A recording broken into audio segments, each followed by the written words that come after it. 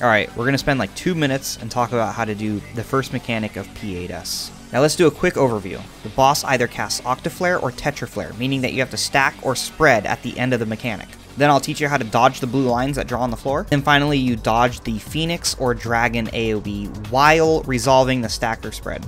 Now, before you even pull, you got to make sure that your clock spot assignments are not fucked up. Don't be lazy and just do standard clock spots with supports rotate clockwise.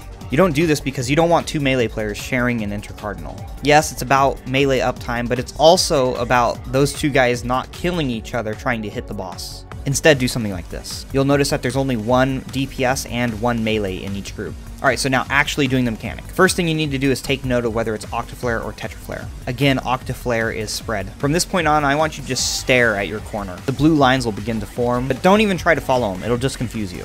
Instead, just fixate your eyes here and here. If the blue line does not draw on one of those sides, that is the safe spot. If neither one is safe, then the safe spot is inside. That is literally the easiest way to determine the safe spot. You should not be hit by this anymore. Now the next thing that happens is either Phoenix or Dragon. The Dragon streaks through the middle, whereas the Phoenix is more of a hot wing type of mechanic. Now remember, the edge of the AoE is not the white lines on the floor, it's the little black ones. Also, you should know that the Phoenix and Dragon will always run north-south. Dodge this while being spread or stacked in your pair. Let's watch it in real time.